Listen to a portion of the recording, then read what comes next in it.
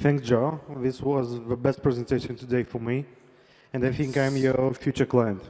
Oh, Uh, my name is Valentine, CEO of PropTech startup Realog. And my question is, when is the moment when CEO should give answer solution and not questions? When should you give an answer? Um, for really obvious things that people should know, if you've got speed or you've got time, or you don't know what the right question is, you should give an answer. On the whole, you don't want to be a bottleneck for answers, because you can end up being the Wikipedia for your company. You don't need that. On the whole, it's where there's speed and precision needed, and it's going to get you to the point you need to be. It's just with practice is knowing what should be an answer, what should be a question.